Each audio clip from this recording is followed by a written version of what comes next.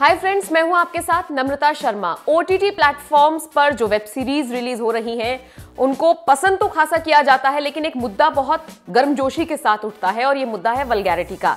बहुत सारे ऐसे लोग हैं जो कहते हैं कंटेंट की डिमांड है, लेकिन बहुत सारे ऐसे लोग हैं जो ये भी कहते हैं कि कोई कंटेंट की डिमांड नहीं है, बल्कि ज़बरदस्ती उसमें वलगैरिटी ठूसी जाती है। तो इसी पूरे मामले पर न्यूज़ एजेंसी एएनआई ने बात की। पीयूष मिश्रा से एक्टर हैं और उन्होंने भी एक तरीके से ये कहा कि मुझे भी समझ नहीं आता है कि भाई, क्या मतलब है? आपके पास एक कहानी है, आपके पास कंटेंट है, उसमें आप ज़बरदस्ती वलगैरिटी क्यों ठूसने में समझ नहीं आता है तो मुझे लगता है ये खत्म होना चाहिए। तो क्या कुछ कहा पीयूष मिश्रा ने, ये तो हम आपको सुनवाएँगे ही, साथ ही साथ पीयूष मिश्रा ने ये भी कहा कि जिस तरीके से पूरी कंट्रोवर्सी हो रही है मिर्जापुर को लेकर, जिस तरीके से कंट्रोवर्सी हो रही है तांडव को लेकर, उस पर उनसे उनकी राय मांगी गई। तो उन्होंने, पता है क्या कहा? उन्होंने कहा, मुझे कोई कंट्रोवर्सी क्रिएट नहीं करनी है, इसलिए मैं कुछ नहीं कहूँगा। इन सब चीज़ों पर पीयूष मिश्रा का क्या कुछ बयान है आप खुद सुनिए। किस तरह से देखते नए कलाकारों को काफ़ी मौका मिल रहा है? हाँ बहुत मौका मिल रहा है यार बहुत मौका मिल रहा है। और लेखकों को बहुत मौका मिल रहा है। राइटर्स का ये एक्चुअली माध्यम है राइटर्स का। बहुत ही आराम से अपने आप को विस्तार पूर्वक जो है वो डिस्क्राइब कर सकते हैं। और वो जितना डिस्क्राइब करेंगे उतना ही एक्टर्स को मौका मिलेगा।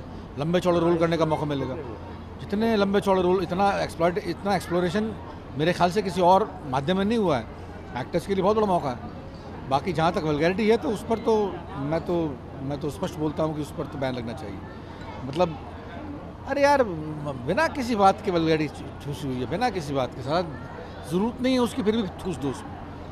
ज़रूरत नहीं है। धार्मिक भावनाओं को भी टेस्ट पहुँचाने का उसका उसका तांडव का भी बवाल मचा हुआ है।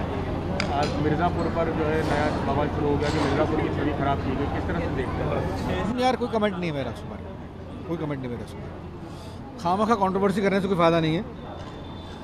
है ना? कोई कमेंट नहीं है उस पर सर ड्रग्स का भी मुंबई में जो है एनसी बहुत ज़्यादा एक्टिव नज़र कहाँ एक्टिव है आजकल? आजकल तो कहीं एक्टिव नहीं है। किसने कहा एक्टिव बुलाया बुलाया बुला हाँ फिर छोड़ दिया। कहाँ एक्टिव है? जिस मात्रा में वो लोग ले रहे हैं उस मात्रा में मेरे ख्याल से किसी को आपत्ति नहीं है।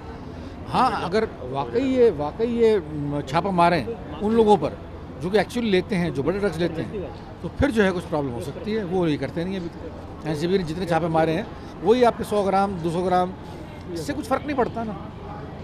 ये जो बड़े बड़े आपके मतलब बड़े लोग लेते हैं, आपके जो दबा के लेते हैं, आपके बड़ी बड़ी कोकेन जैसी कुछ चीज़, उस पर नज़र नहीं जा रही इनकी। वहाँ पर डाल